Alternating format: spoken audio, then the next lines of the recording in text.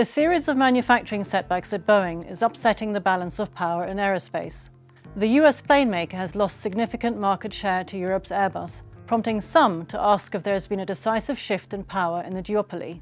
The rivalry between the two plane makers has been the bedrock of growth in passenger numbers and led to innovations that made mass market travel a reality.